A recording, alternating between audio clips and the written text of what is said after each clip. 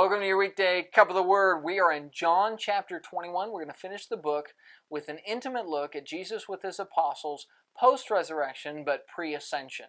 Uh, Jesus is going to meet his apostles out there at the Sea of Galilee with them fishing. They've been fishing all night. He's going to tell them, Cast your, your nets on this side. They're going to bring in a massive catch and very clearly realize the man talking to us on the beach, that's our Lord. Uh, everybody else comes in. But Peter won't wait. Peter comes in very quickly, jumps off the boat, and, comes to shore.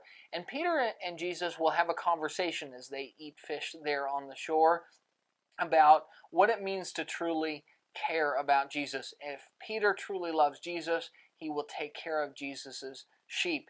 And as Jesus asks the question over and over again, Do you love me? Uh, you can see the anguish that Peter goes through, probably reflecting on the denial that he had uh, when Jesus was on trial. But in the end, Jesus will say, If you love me, you'll take care of my sheep, reflecting Jesus' care for those he'd given his life for.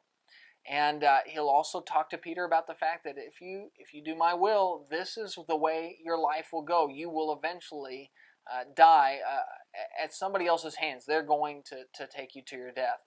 And we get to see that uh, Peter, who had denied Jesus, uh, here's the beginning of the new Peter, the Peter of courage, who will uh, will love those sheep that Jesus gave everything for.